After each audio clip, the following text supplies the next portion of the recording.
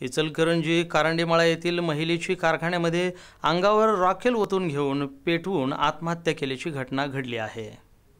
इचलकरंजी कारंडेमाळा येथे राहणाऱ्या सुरेखा कुंभार या महिलेने कारखान्यामध्ये स्वतःवर रॉकेल ओतून घेऊन पेटवून आत्महत्या केली. सुरेखा हिच्या पतीचे तीन वर्षापूर्वीच निधन झालं होतं. सुरेखा ही गेल्या काही दिवसांपासून आजारी होती. त्यामुळे तिने आजाराला कंटाळून शेजारील अशोक कुंभार यांच्या कारखान्यामध्ये स्वतः पेटवून घेऊन आत्महत्या केली. कारखान्यातून मोठ्या प्रमाणात ये- येत असताना काही नागरिकांनी पाहिले तर सुरेखा हिने स्वतःला पेटवून घेतलं होतं. सुरेखा हिला तेथील नागरिकांनी खासगी रुग्णालयात दाखल केले मात्र तिला तिथंच मृत घोषित केलं. या घटनेची नोंद शहापूर पोलीस स्टेशनला झाली आहे.